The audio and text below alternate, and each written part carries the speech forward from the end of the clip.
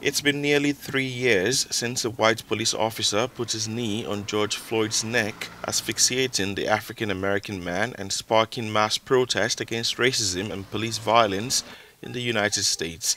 As the anniversary approaches, many, including George Floyd's aunt, Angela Harrelson, look back at the unfortunate event to see if progress has been made. And it's just wonderful to see. It's the awareness is the acknowledgement that systemic racism does exist. So people always ask, do you think it's getting better? Yes. Minneapolis have had six, six police officers convicted within three years. You know, one is a white female.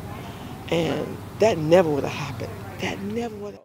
Harrelson points to the conviction of the police officers involved in Floyd's death the reforms in Minneapolis law enforcement and diversity programs at universities, but believes there's still more to be done.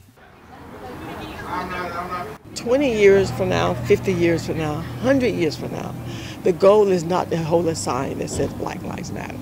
The goal is not to hold a sign that says Black Lives Matters. And until we can do that, and where we, where we don't have to say Black Lives Matter, that's when we know we have arrived. The May 25, 2020 killing was captured on film and went viral around the world. Protests erupted in at least 140 US cities, with thousands of people taking to the streets against police violence. It almost feels like we took five steps only for us to move 15 steps back. And even like I've been asking my friends and even my dad yesterday, what do you think? Like, do you think there has been change? And all of them are black, and all of them said no like without even hesitation.